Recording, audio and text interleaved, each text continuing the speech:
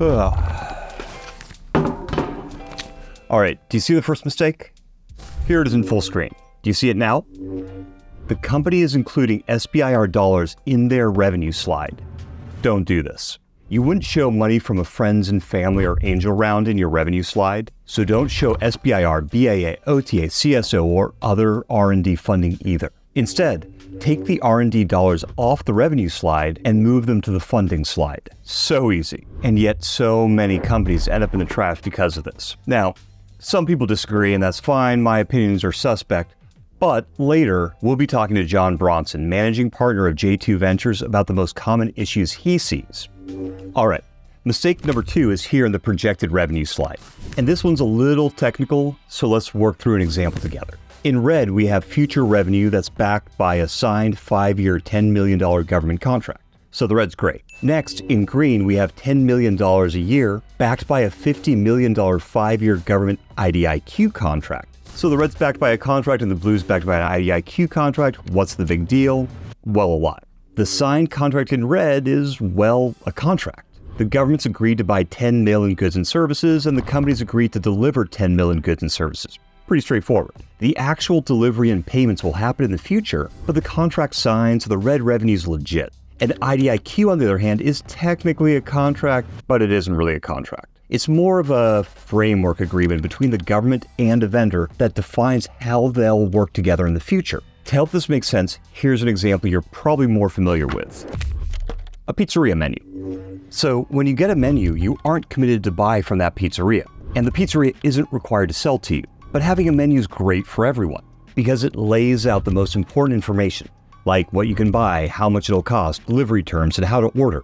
And because the menu makes it easy, you're more likely to buy from them. And an IDIQ is like your menu to the government. It's got your products and services, prices, and other key sales terms.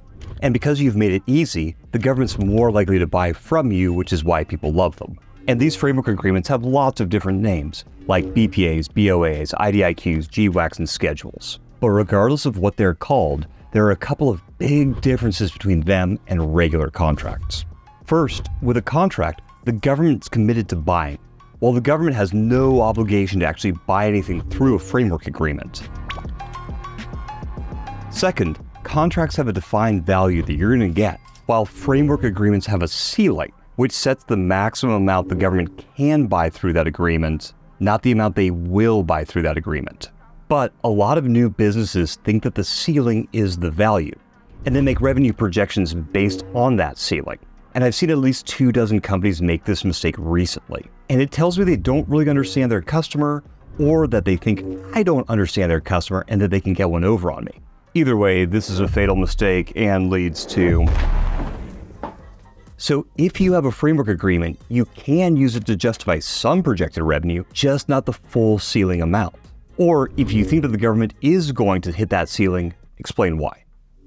The third mistake is a go to market strategy or customer research section that sounds like, We hired General or Admiral Schmuckatelli and they know everyone. Terrible answer. Generals know other generals, and generals usually aren't that helpful. Next, we'll sell through an SBIR Phase 3.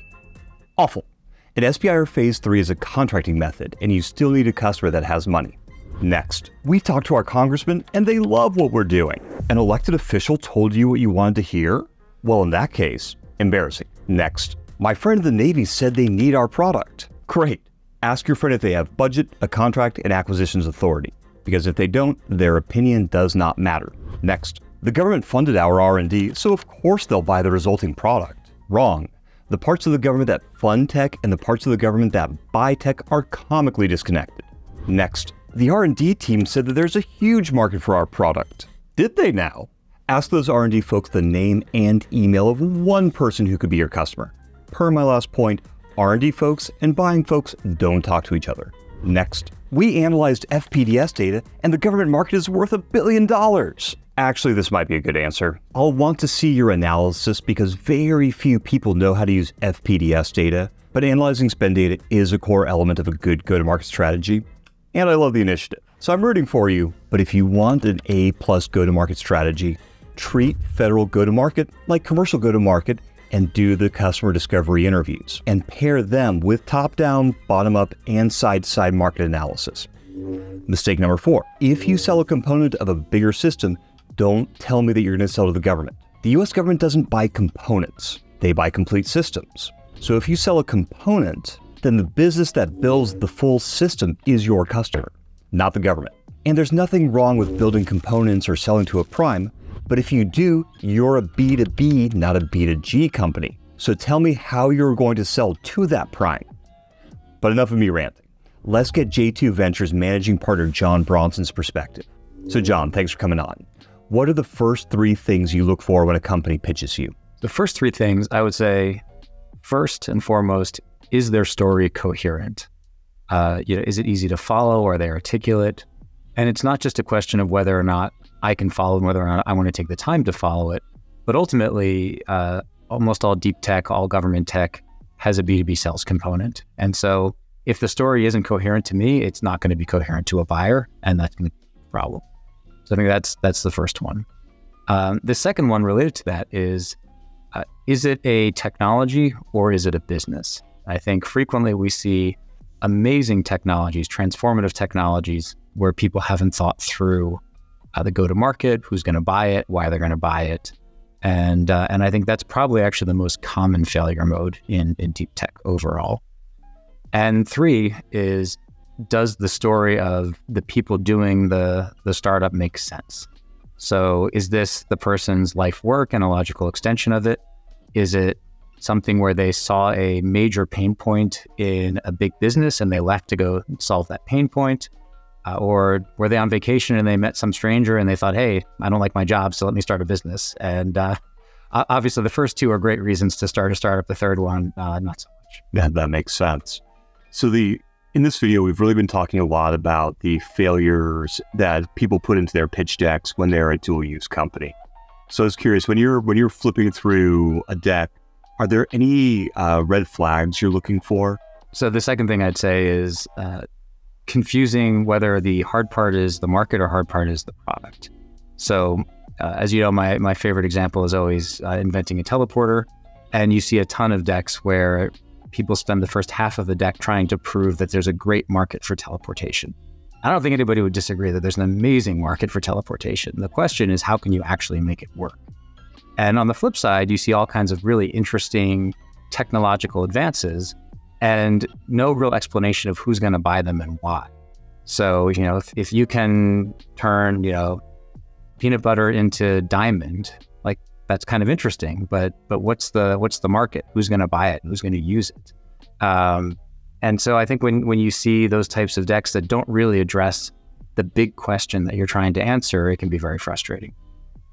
I think a, a, another really common failure mode is uh, confusing uh, passing interest from a buyer with uh, with legitimate interest, and so you see a lot of companies that have fifty thousand dollars of revenue from a defense prime or fifty thousand dollars of revenue from Microsoft, and people get really excited because you know, yeah, Microsoft is buying, Lockheed is buying, but for a check that that's small, uh, these these types of big businesses will write you know dozens and dozens of those checks just to take a look at some type of technology, and uh, and so that doesn't really prove that you actually have real traction. It just proves that somebody thought you were interesting enough to take a peek, uh, which might be fine at this stage of your company, but I think it's important not to confuse those two.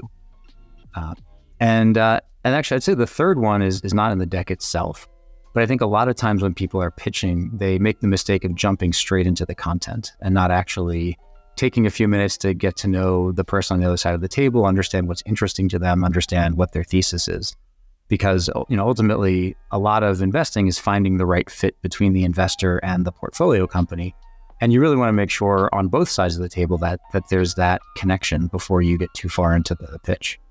So I, I think that a lot of struck companies struggle to even get to get into the room.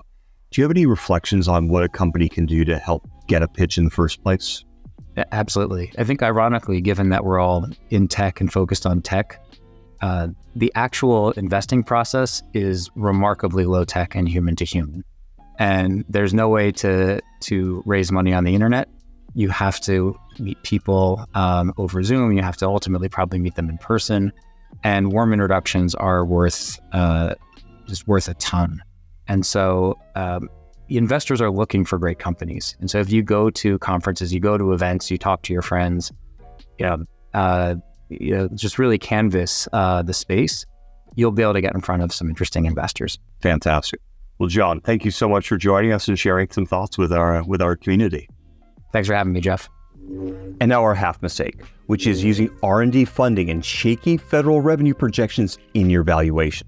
The typical startup valuation equation is EBITDA times a multiplier. And let's skip the multiplier because it's basically out of your control. But your EBITDA is very much in your control. So if you've inflated yours by slipping R&D funding or notional dollars from a framework agreement in, you're going to end up with an inflated valuation.